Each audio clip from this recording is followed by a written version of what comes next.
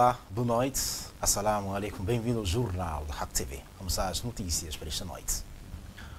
O estabelecimento penitenciário regional de Nampula beneficiou esta quinta-feira de uma oferta de organizações islâmicas que disponibilizaram duas toneladas de farinha de trigo no âmbito de um programa de apoio a instituições carenciadas e vulneráveis.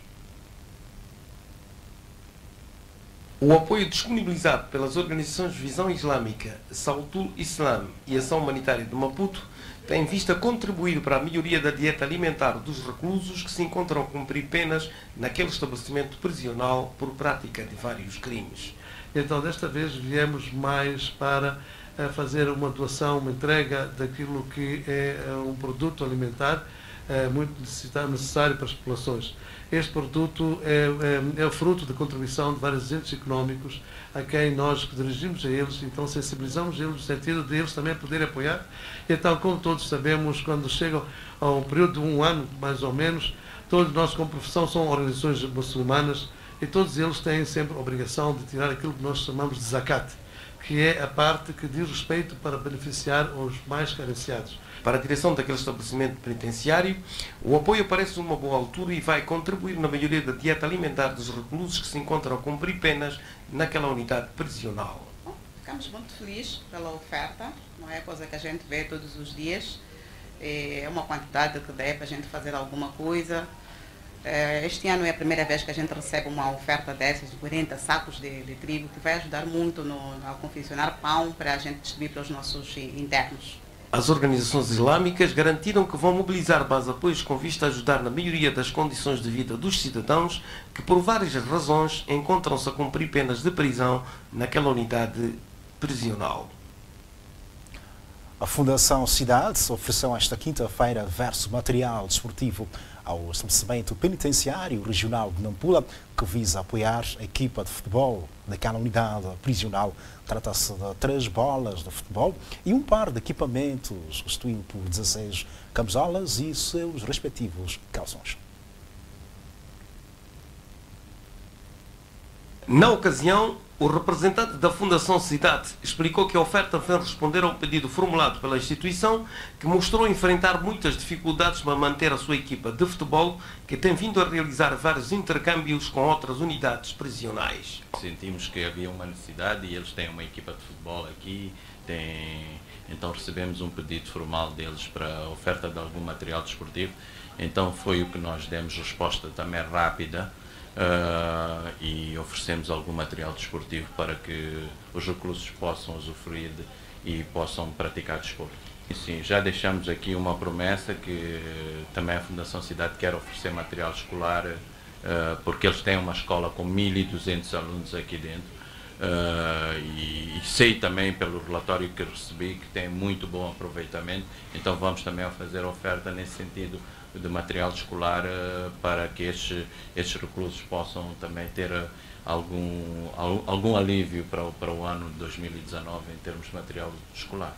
A direção daquela unidade penitenciária agradeceu o gesto e prometeu fazer uma utilização condigna do equipamento através da conquista de muitas vitórias durante os jogos que irá efetuar. Estamos uh, extremamente agradecidos. A nossa equipe de, jogo de futebol é, é, é, interna e não tínhamos nenhum equipamento. Às vezes somos solicitados por outras, outra cadeia, por exemplo, a cadeia provincial de, de, de Nampula e fazemos jogos entre, entre as penitenciárias. Mas nós não tínhamos um equipamento, então ficamos já a agradecer muito pelo facto de termos sido alocados 16, 16 pares de, de uniforme e de futebol e três bolas de futebol. A Fundação Cidade prometeu a curto prazo angariar mais apoios para a equipa de futebol daquela unidade prisional, de modo a ombrear de igual para igual com as congêneres de outros estabelecimentos. Mudamos de assunto. Várias habitações da unidade comunal piloto no bairro de Moatala corre o risco de destruição devido ao fenómeno da erosão de solos que se verifica naquela região do município de Nampula.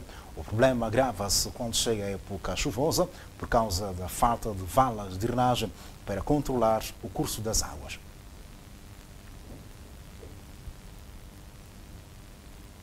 Os moradores mostram-se preocupados com a situação que se registra há mais de três anos, sem contudo haver alguma intervenção das autoridades municipais na perspectiva de minimizarem o problema. Nós sempre, quando houve esse tempo de chuva, assim, passamos mal. Conforme que estão a ver essa cova aqui, essa cova quase está há três anos atrás. Só nós que somos moradores do bairro estamos a pedir a quem de direito. Pelo menos esse bairro está de pior. Somos muito esquecidos. Nós estamos a viver como se fosse num distrito, que nem no distrito não é assim. Sim, estamos a sentir bastante, conforme está a ver, nossas casas estão a cair, nossos quintais estão a ir embora por causa de água. É, assunto da erosão aqui no nosso bairro está quase há dois anos que estamos a sofrer com esse tipo de erosão. E já tentamos chegar à instância competente que já não estão não estar à mão, conforme como estava a ver. Algumas casas do outro lado já caíram e fizemos chegar isso à autoridade e ninguém nos responde por isso. Estamos em risco. Sempre que chove há problemas sérios nessa zona. Não temos como transitar para a cidade. Como sabe. Aqui é um sítio onde a gente passava de bicicleta, de carro, de moto. Em particular aqui chegava carro, mas agora não chega. A situação da erosão é muito preocupante. É, nós já não sabemos o que fazer com essa estrada. Ah, e para além de essa erosão aqui, há muitas pessoas, por exemplo, ontem ouvi dizer que tem pessoas que foram carregadas com água neste mesmo rio, para lá naquela matala. Os moradores afirmam que o problema agrava-se pelo facto de alguns residentes dedicarem-se à extração da areia para ser usada nas obras de construção. Quem tira a areia são esses que estão lá um pouco em cima. Então nós tentamos intervir, somos cúmplices, porque estamos a proibir, eles não estão a arrancar bem com as obras. Sim. Sabendo que nós aqui embaixo estamos a sair mal, estamos a perder. As pessoas não querem acatar daquilo quando a gente diz. Sempre que chove, as pessoas vêm aqui com baltinho nas estradas. Epa, quando a gente tenta sensibilizar, começam a dar nomes, numa que aquele quer ser isto, quer ser isto, mas não é bem assim.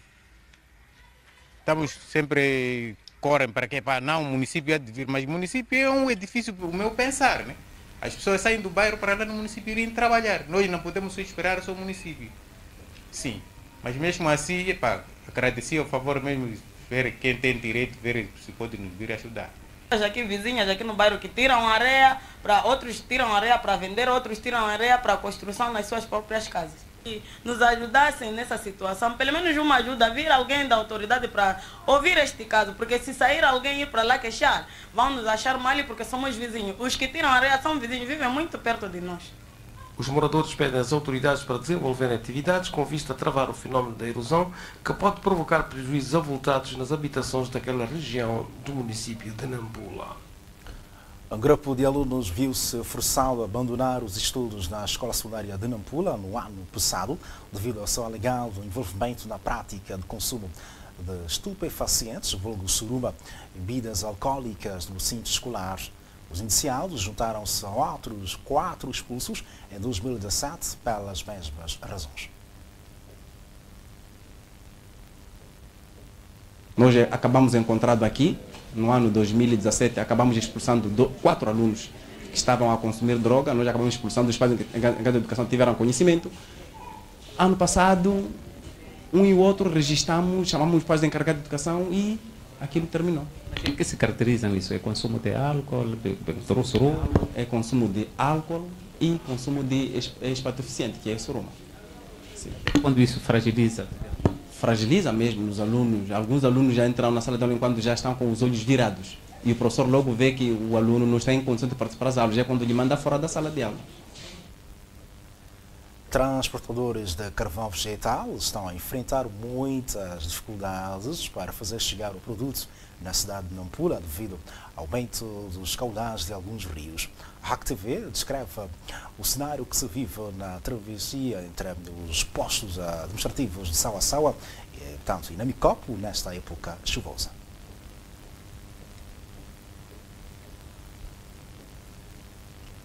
Este é o cenário que se vive aqui no Rio Monaco, na zona do posto administrativo de Saua. Os tratoristas que se dedicam ao transporte de carvão para a cidade de Nampula enfrentam muitas dificuldades para poderem atravessar este rio, principalmente na época chuvosa, quando este aumenta o caudal. São precisos entre 4 a 5 dias para a água poder baixar e eles empreenderem uma travessia debaixo de muitas dificuldades. São obrigados a enfrentar esta situação porque não têm outra hipótese de poder atravessar este rio que liga os postos administrativos de Sawasawa e Namikopo, este último na cidade de Nampula. Vamos tentar falar com um dos turistas que enfrenta este dilema no seu dia a dia. Temos muita dificuldade, não temos estrada, e estrada tão estragado, nem ponte não temos. Epa, certas coisas estamos a passar muito mal. Quando a chuva cai, já há dificuldade de crianças na escola, epa, estrada, epa, caminho. Epa, nós também que somos tratoristas também, epa, também ficamos tanto tempo a passarmos mal. E como é que vocês conseguem atravessar assim na época chuvosa? Ah, epa, quando chega tempo chuvoso, quando ali a água enche, nós passamos totalmente mal, ficamos alguma semana, duas semanas, três semanas com água sem, quando tem água cheia, então a gente ficamos alguns dias à espera da água. Atravessar esse rio é muito difícil, é muito custoso também. Quando chegar esse tempo de chuva, a gente sofre muito mal. Não temos estrada, não temos lugar fixo para atravessar. Sempre passamos cinco, seis, uma semana sem atravessar, sem chegar na cidade de Nampula. Muitas questões que nós estamos a ver aqui estamos a sofrer o mesmo. E quando nós estamos a, a atravessar para, para o mato, lá em casa, quando ficam, os filhos ficam mal, porque ficamos uma semana, duas semanas sem chegar na cidade. Agora, como é que conseguem atravessar este rio? Para atravessar esse rio é assim mesmo, esperar 5, 6 dias, à espera d'água, evocar um pouco. Porque quando o rio enche, não temos tempo como para atravessar, temos que esperar a água baixar é para tentarmos de maneira qualquer para fazermos atravessar as máquinas. Preocupados com a situação, os utentes desta via que atravessa o rio Gunapo pedem às autoridades para minimizarem o problema através da construção de uma ponte que possa garantir uma travessia segura na região. Gostaríamos que o governo fizesse uma ponte que podemos conseguir atravessar, levando o nosso produto de carvão, para vender na cidade, porque desta maneira, assim, já como estão a ver, eh, os tratores sempre têm avarias, por causa desses problemas, porque a via é péssima. Nós estamos a pedir ao governo para a ponte, para nos arranjar uma ponte para podermos facilitar para atravessar. Eu estou a pedir ao governo que nos ajude a reabilitar a nossa ponte e reabilitar um pouco da estrada. Embora de estrada, só a ponte. Se quando reabilitarem a ponte, nós vamos arranjar maneira de atravessarmos. Só estou a pedir ao governo que nos ajude mesmo em questões da ponte. Epa, queremos estrada e queremos também retificar aquela nossa ponta ali. Epa, aquelas certas coisas que o governo vai sentir pena de nós, pronto, já a gente nos ajudar nos estrada. Pelo menos regularizarmos a situação da ponte, para termos meios de atravessar. Conforme referenciamos, esta é a situação que tratoristas que se dedicam ao transporte de carvão para a cidade de Nampula enfrentam no seu dia a dia para conseguirem atravessar o rio Monapo, que nesta época chuvosa aumenta de caudal e dificulta e de que maneira a sua travessia.